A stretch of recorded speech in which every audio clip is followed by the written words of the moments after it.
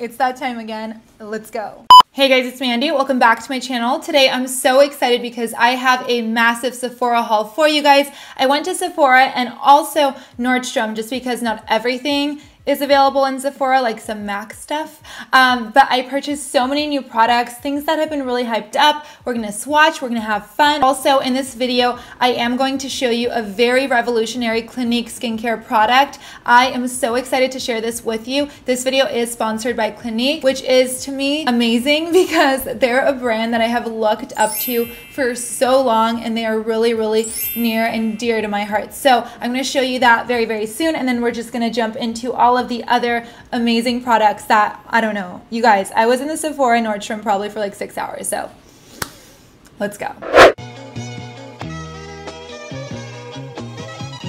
So here's the product that I've teamed up with Clinique to share with you guys. This is the Clinique Fresh Pressed Daily Booster with Pure Vitamin C. It's a little package, it's so cute, and the reason this product is revolutionary, in my opinion, is because this product is only going to last you seven days. The purpose of that is to keep the vitamin C fresh at its optimal freshness so it can actually give you really, really great results. And you can see them very quickly and in seven days. Now, it doesn't mean that you need to stop using this after seven days. You can buy another one and keep purchasing it. But the reason they have to do this is because we all know, I know you guys know, that vitamin C isn't something that you want sitting on your counter for a long time. You want it to stay fresh. So this is why I think this product is so, so great. And I'm so happy that something like this is on the market. So the first time you purchase this product in the first seven days, you will see that your skin is retexturized, it is smoother. It also is going to brighten your complexion, make it look more healthy,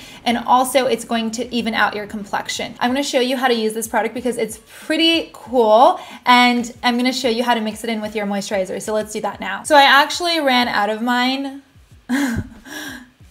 You're gonna laugh. Um, so last night I did open this already. We're gonna pretend it's not opened. There you go. Um, so this is what it looks like once it comes out of the box. It's really, really cute, really clean, very modern. And it has this piece of foil that I kept to show you guys. That's what it looks like. So what you're gonna wanna do before you remove the foil is right here, it has a place to put the date when you open the product so you know when the first day is through the seventh day. So after that, that's what the product looks like.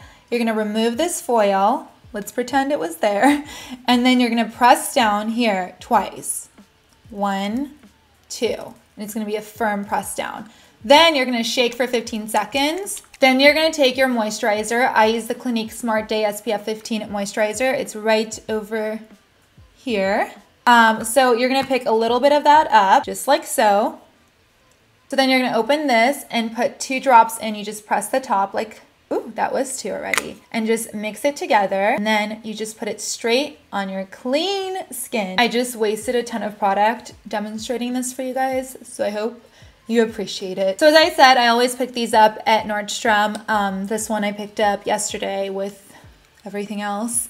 So let's jump into the other things. But if you are interested, definitely stop by a Nordstrom. I think it's a great place to purchase these. Okay, so of course I picked up more beauty blenders. If you guys love your beauty blender, blenders, blenders, I've realized that if you buy the nude one and you have a foundation shade similar to this, so you're kind of my skin color, you don't have to, you know, get worried when it stains. Sometimes with the pink ones, I get foundation on them and then I wash it and wash it and wash it and not everything comes off. And I know it's clean because I just spent 20 tons of soap trying to clean it, but it doesn't look new. Okay, so if you don't know, I feel like everyone knows this, Marc Jacobs is behind the coconut collection. It was sold out for so long. It drove me crazy because I never got my hands on it and everyone was saying it was amazing. So obviously Kylie used this in her recent Vogue video. So I'm really curious to mix this in with my foundation. This is the Marc Jacobs Dew Drops Coconut Gel Highlighter. So she took this and she just mixed it straight into her foundation. This is what it looks like. It's really, really pretty. Let's open it up so we can see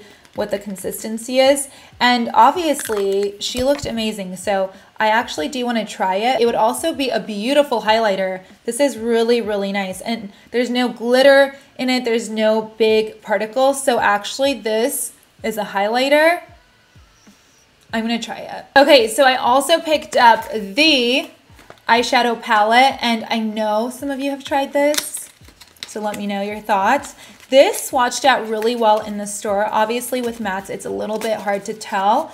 Um, so I'm excited to try the mattes. This is what it looks like. I love the packaging. Also very sleek and clean. I told you guys I'm into that. Um, so this is also so travel friendly. This is what it looks like inside. And let's open it up. That is what it looks like. And I am so into pinks if you know me.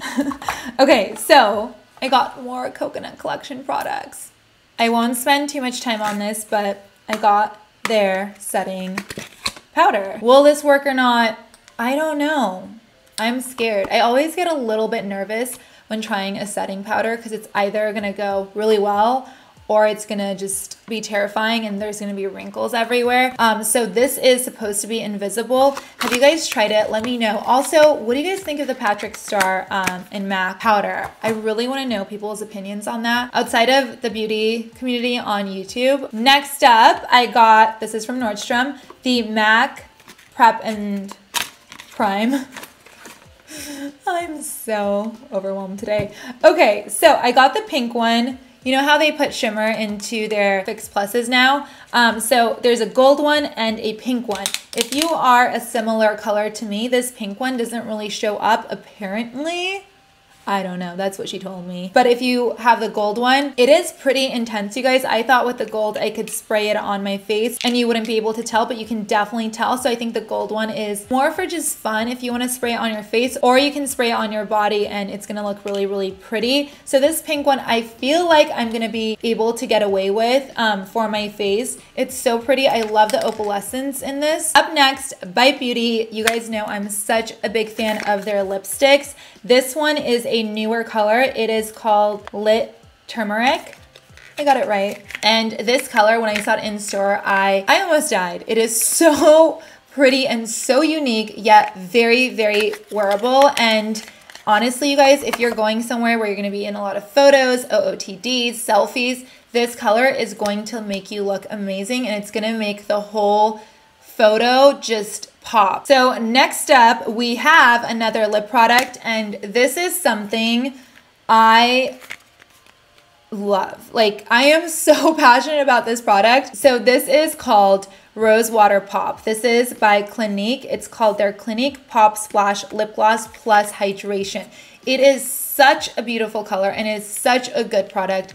I recommend it to all of my friends and I basically, I don't know, I feel like all my friends have it now because I've been so into this product. So this is the most perfect shade of pink, like literally perfect. So fresh, so feminine, so stunning. And it also has gold flakes in it. And the gold flakes aren't like a, I don't know, like a subtle ant kind of flake. It's just really, really beautiful. Like when the sun hits this and you're wearing it on your lips in the daytime, I just, it makes you look so good and you get so many compliments. This you can wear as a lip topper or you can wear it alone. So this is what it looks like. So you can't see the gold shimmer in there right now because if it's just, you know, hanging out without the sun hitting it or intense light hitting it, it just looks like a beautiful, rosy, stunning pink. But then if the sun hits it, it just, it shines. It shines, you guys. So I really love this and I want to show you because I bought a Sephora lipstick. I want to show you what this looks like over that. Sephora has lipsticks now. Did you guys know that? I am excited for this. So this is number six. Um, this is what it looks like. So this part's plastic and then everything else is cardboard. This is a really, really pretty shade of nude where it's not too nude, where it's going to wash you out. I don't know if you guys can see that. See? Hopefully this doesn't wash me out. Um, but I think that's a really, really nice nude. And again, it has a little bit of rosiness to it, which I think in the summer is absolutely stunning. So let me put this on top because I just want you guys to see.